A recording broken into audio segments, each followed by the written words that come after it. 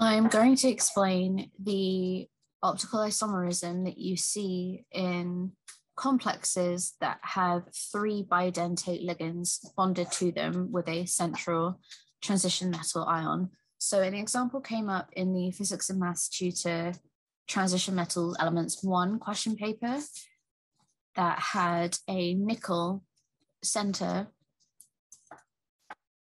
of a six coordination number octahedral complex.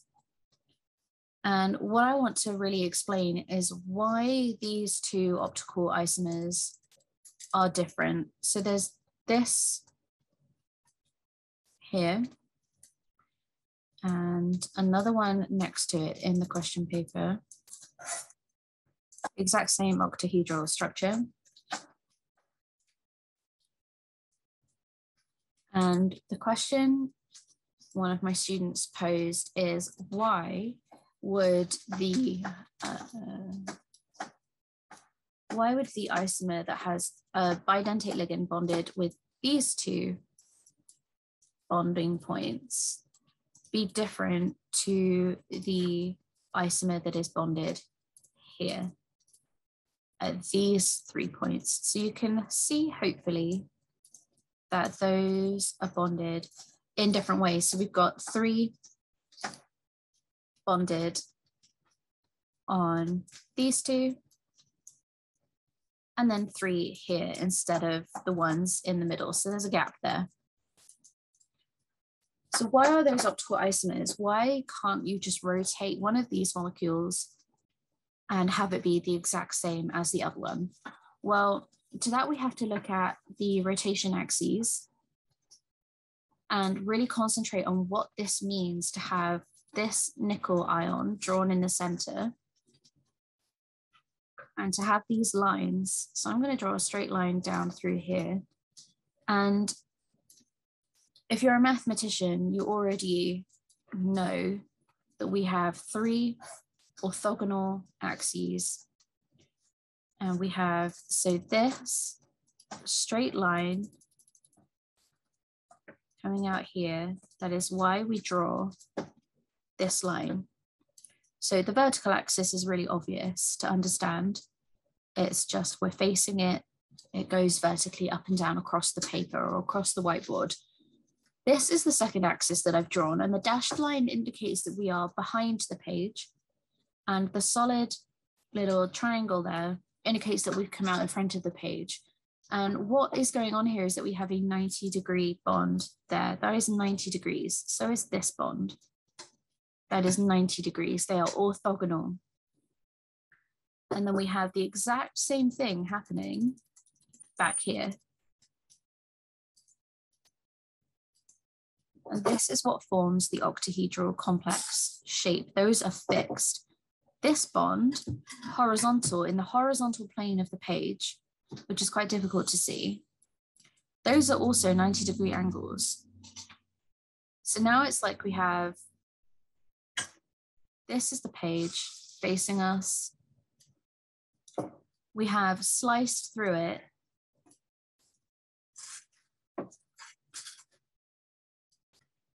like this and formed a plane across that is at 90 degrees, that is horizontal, right? Now, what happens if we start rotating things around that axis? There are three types of rotations we can do around this axis. We can rotate the vertical axis. So we can rotate around this way we can rotate the first horizontal axis. We can rotate this axis around horizontally. And the third rotation we can do is on the other axis. So not the vertical, not that horizontal, but this one. We can rotate that one around 90 degrees. And each of those rotations will result in anything that's bonded on these six spokes being in a slightly different position. So what I want to do with this video is show you what those different rotations result in if we have a bidentate ligand and why these two isomers do not result in the same rotations. So to begin with, I need to draw again. There's my vertical axis, there's my behind the page, but horizontal in the horizontal plane. And then it comes out in front and again to the back and then this horizontal. Again all six of these spokes are at 90 degrees to one another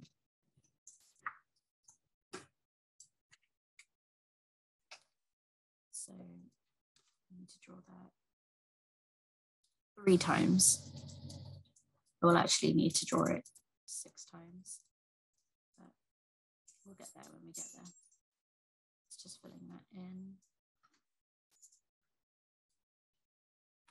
And again.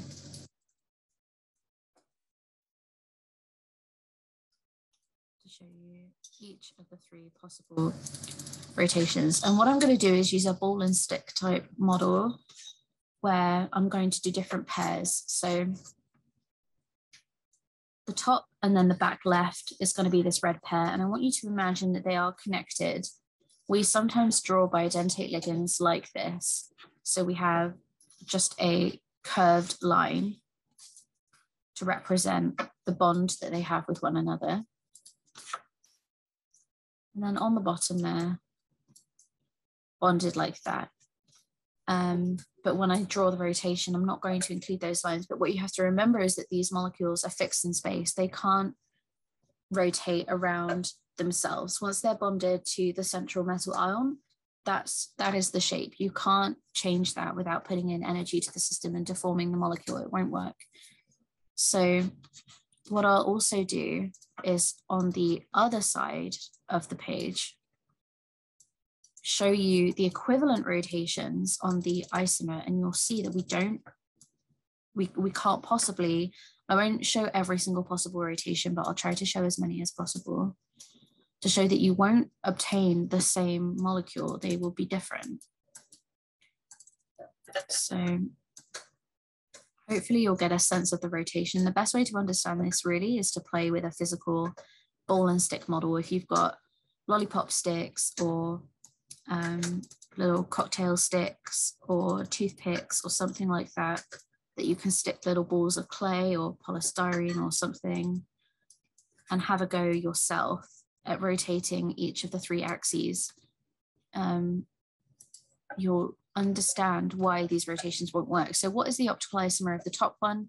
Well, it will mean the red will be bonded to the other side, the back right, instead of the back left. And then we have the purple one bonded to this one down here.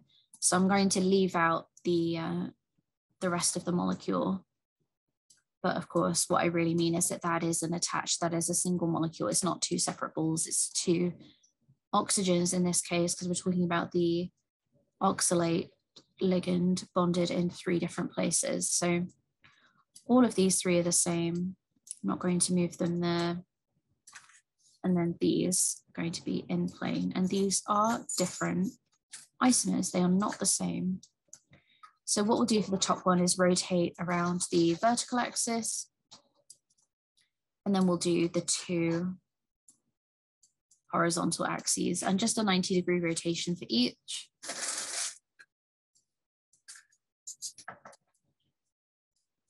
To show you that we will not obtain the other, the molecule on the other side of the board. So this one, we're going to rotate about the vertical.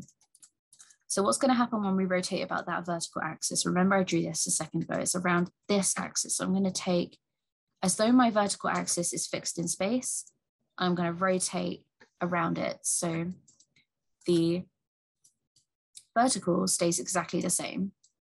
The red on the top and the blue on the bottom aren't going to move because they're rotating about themselves. They're symmetrical around that rotation around that rotational axis. But what will happen is that all of the horizontal ones are going to move.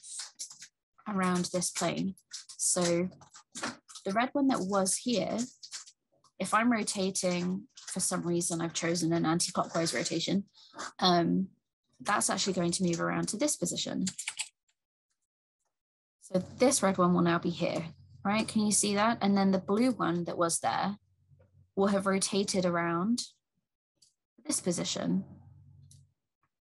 The purple one that was there will now be at the back. So this was the purple that was here. That's now going to have rotated round to the back. Now, in reality,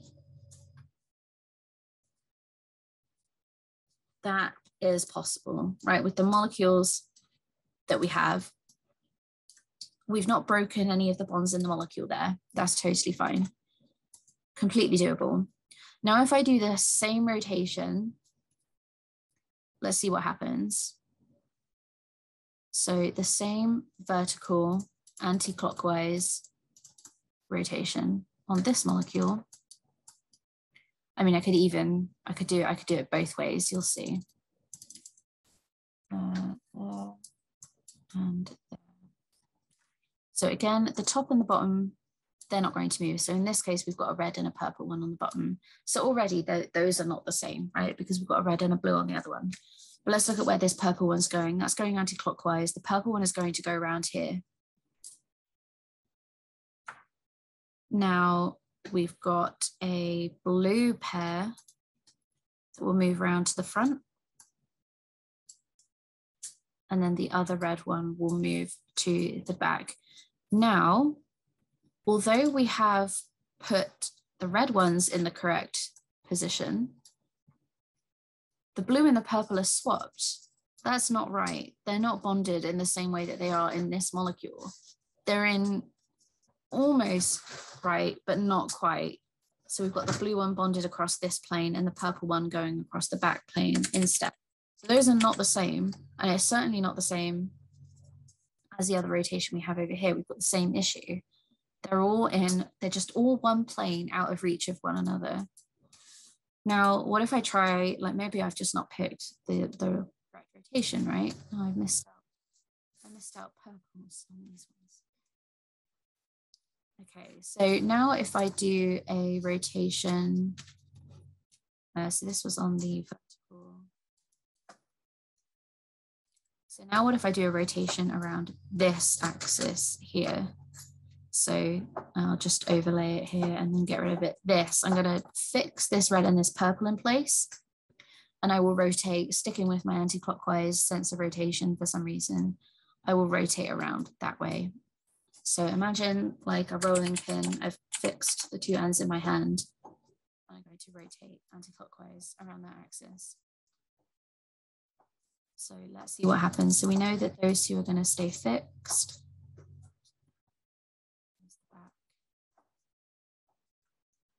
and the verticals. So I'll start with my fixed ones, those red and purples, those are not going to move.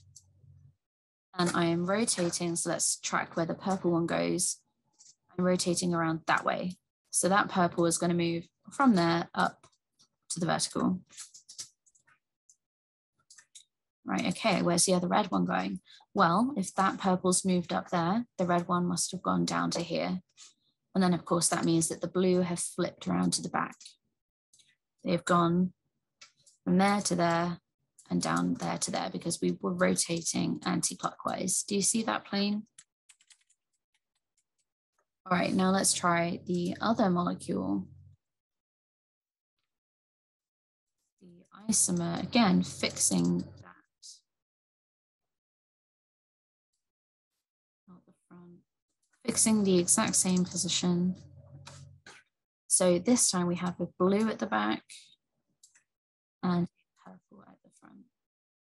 And doing that same upwards flip rotation, we can see that the purple down here will have moved up to here. Great. Then the red ones will have both flipped round. So the one on the top will now be at the front and the one at the back will now be at the top. And that leaves us with that blue that was at the front, will have gone down to here. Okay, cool. Now, so far, you can't see any equivalent molecules. None of the ones on the left-hand side are the same as the ones on the right. None of them. You can tell that these are rotations of one another, almost by rotation, but they're not across to the other side of the board. So let's do the final one anyway for completeness.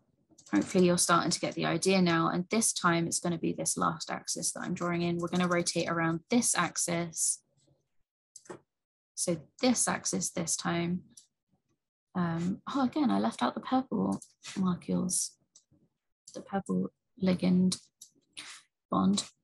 Um, so just to show you an overlay, I'm going to be rotating this axis and we're going to go around again anti-clockwise. So we're going to flip the whole molecule up that way. So those two are going to be the ones that stay the same. We're going to keep that purple ball there, that purple bond and the blue bond there. But what's going to happen to the blue that was down here? Well, it's going to move up to here, isn't it? So and we will have the red ones.